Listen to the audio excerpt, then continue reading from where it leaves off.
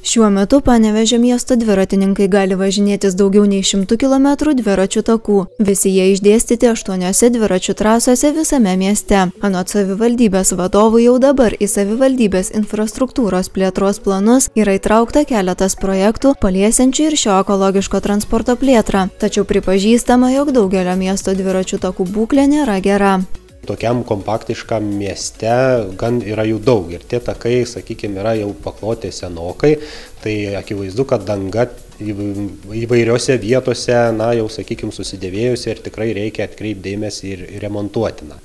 Žinoma, į tai yra žiūrima ir manome, kad būtent šis periodas leis dalį bent takų pakloti naujai arba rekonstruoti esamus takus ir situacija ženkliai pasikeis, ypač važiuojant nuo verčiūnų pusės ten link centro, na ir nuo centro link pajuostės plento. Tai būtent tokia šaka, sakykime, tokia vyja ar gisla ar, ar takas pats tai maršrutas šis tikrai pagerės ženkliai. Tai jeigu imsim, tai va šiais metais parko, kultūros polsio parko dviračių takas 4 km, bet čia yra pačiame parke jau.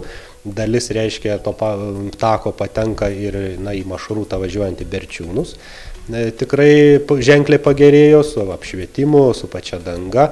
Na ir šiais metais vėlgi taikos alėja kaip ir numa, jau projektuojama vat, takai, projektuojamos po truputį ir e, ekrano Marių pakrantės link pajuostės plento takas dviračių, tai iš tikrųjų tie takai gerės ženkliai, bet tikrai ne šimtas kilometrų. Tai gerės e, bent jau penktadalis, tai tikrai naujų takų atsiras. Dviračių takai aplamai turi miestą sujungti, kad tai sudarytų bendrą visumą, kad tai reiškia tos kryptis būtų iš, iš visų pusių, tiek jungtų pietinę, tiek šiaurinę dalį, nes dabartinė šiaurinė dalis miesto, pietinė dalis tiesiog užmiršta ir žmonės norėtų atvažiuoti į miesto centrą, iš tos pusių jie faktiškai neįmanoma. Mes ne tik kalbam apie dviratininkus, mes šnekam ir, ir apie tuos ir neįgaliuosius, kurie važinėja ir vežimėliais, ir tai taip pat tie takai būtų, galėtų naudotis ir tie asmenys, tai ta kategorija žmonių.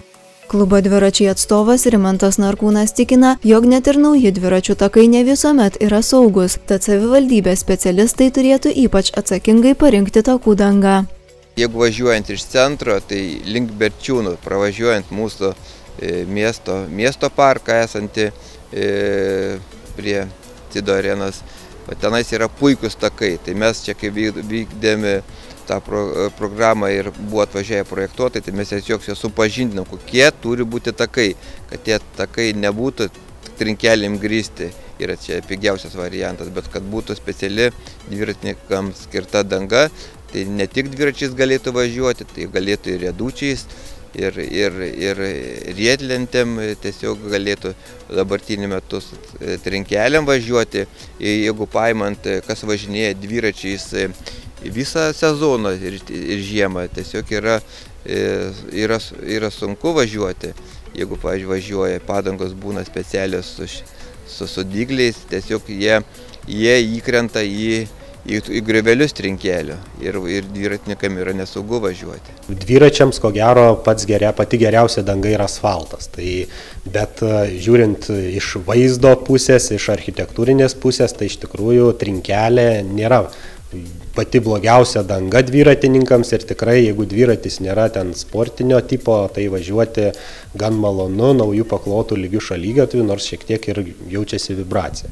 Na, asfalto tokiu atveju reiškia būtų tikrai maloniau važiuoti dviračiu, bet yra tokios galimybės, kad vietomis, kur yra gan siaura, dėti dviejų tipų danga asfalto ir trinkelių yra gan sudėtinga ir tikrai brangu.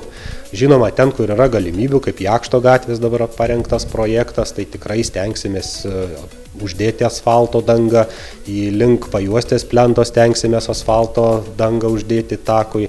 Na ir tikėtina, kad e, galbūt link, link Berčiūnų, būtent jeigu pavyks ten truputį patvarkyti, vėlgi tą asfalto dangą liktų. Tomas Jukna pripažįsta, jog šiuo metu trūksta ne tik miesto dviratininkų bendruomenės pasiūlymų, bet ir bendradarbiavimo su Panevežio rajono savivaldybė. Didžioji dalis ilgesnį maršrutą besirenkančiųjų kelionę iš miesto tęsia rajoniniais takais, tačiau būtent miesto ir rajono takų būklė skirtinga. takai yra, bet tie, tie takai jau yra nutiesti iš, iš seniausnių laikų ir jie tiesiog jie yra kai kurie kritiški, tiesiog net pavojinga yra važiuoti. Yra išlikęs, yra iškilusios e, šaknis medžio, yra duobėti, tiesiog jas reikia e, tvarkyti, bet čia turi būti jų susišnekėjimas miesto ir rajono savivaldo. Tokio susitikimo bendro nebuvo kad būtumėm susitikę su rajono atstovais, išdiskutavę dėl dviračių trasų. Nežinau, ar, ar anksčiau buvo tas daroma, bet mintis tai iš tikrųjų gera ir, ir galbūt ateityje, jeigu tikrai iniciatyva bus, manau, kad ir dvi, iš dviratininkų iniciatyvos reikia, bet tikrai sudalyvausim bendrai ir, ir būtent tikrai sveikintinas pasiūlymas. Dviračių takų atnaujinimas į miesto projektus įtrauktas ir kitąmet. 2018-aisiais planuojama atnaujinti Klaipėdos Nemuno gatves jungianti dviračių taką. Be to, savivaldybės vadovai ragina gyventojus pranešti, jei miesto dviračių takai tapo nesaugus, bei teikti pasiūlymus naujiems plėtros projektams.